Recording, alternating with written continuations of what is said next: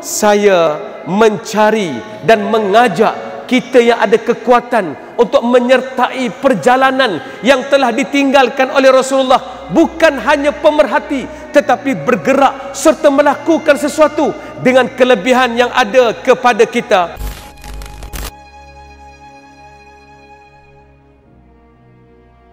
Malulah kita kepada orang-orang tua di zaman Rasulullah yang masih lagi berjuang walaupun usia mereka berada di hujung malulah kepada para wanita yang tidak pernah sedikit membimbang dengan kematian. Walaupun mereka itu seorang wanita sedikit pun tidak pernah berhenti menyatakan perjuangan bersama dengan Rasulullah sallallahu alaihi wasallam.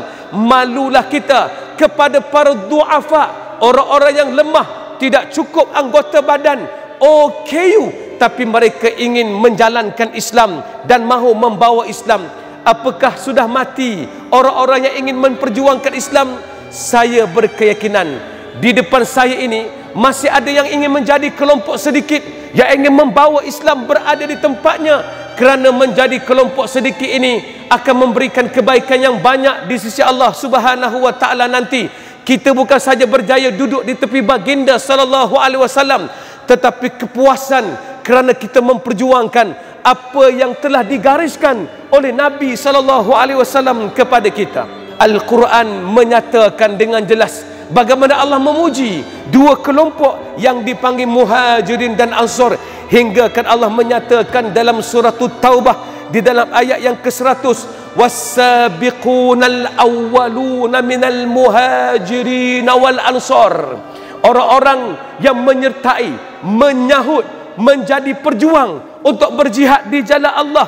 Dan mereka itu adalah kelompok muhajirin dan ansar walladhi nattaba'uhum. Mereka-mereka yang ikut bi ihsanin radhiyallahu anhum wa radu'an. Kita tidak boleh mendapat gelaran muhajirin dan ansar tapi kita boleh mendapat gelaran tabi'uhum. Mereka yang mengikut muhajirin dan ansar kita walaupun tidak bernama muhajirin dan ansar Allah menyebut satu perkataan yang mengembirakan kita. Radhiyallahu anhum wa radu'an. Allah redha kepada mereka dan mereka redha kepada Allah.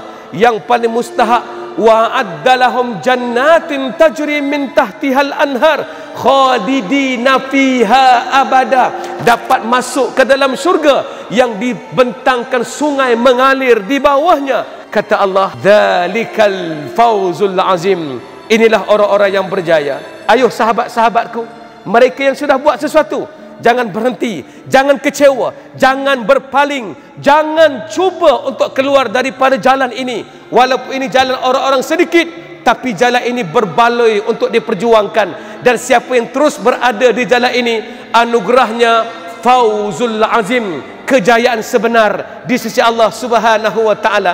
Jangan tertipu dengan kejayaan yang menipu. Ada orang bertenang, duduk rumah besar tidak buat apa-apa. Dia mengatakan saya berjaya. Itu bukan orang berjaya.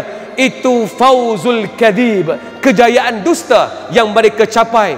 Tapi mereka yang menyertai bersusah-susah mengambil jalan Islam walaupun tahu jalan itu mengorbankan jiwa.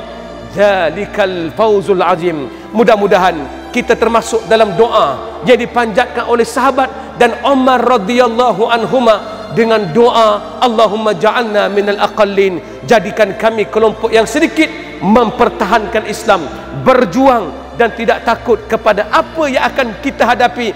Yang kita yakin mati kita syahid hidup kita mulia. Tidak ada yang boleh memisahkan kita. Hanya Allah penaung kita yang menjadi maula kita iaitu yang akan menaungi kita di dunia dan di akhirat